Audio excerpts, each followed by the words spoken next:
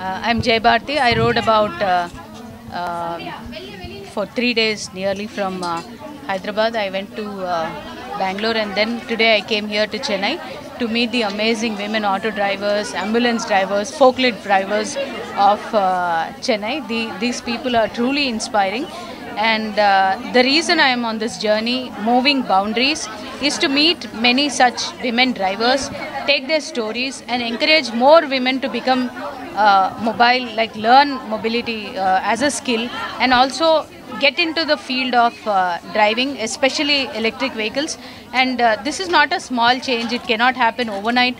Uh, Chennai is doing fantastic in this, and I hope the rest of the country follows the suit.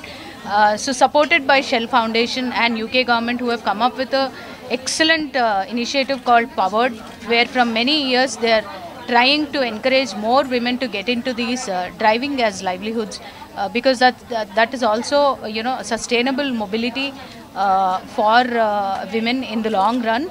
And as a part of this, we have conceptualized this campaign, Moving Boundaries, uh, where I'm traveling about 11,111 kilometers across uh, India in 40 days, going to about 20 plus cities, interacting with the women who are already uh, uh, uh, who already are drivers, and with the organizations who are doing an incredible job in bringing these women uh, to a state where they can think that they can learn how to ride and also become the drivers. It's it's definitely not easy, uh, but likewise there are many organizations spread across the country, and our idea is to share their stories, interact with them, exchange the learnings, and then increase the uh, community of organizations who are working to enable more women into the sustainable mobility.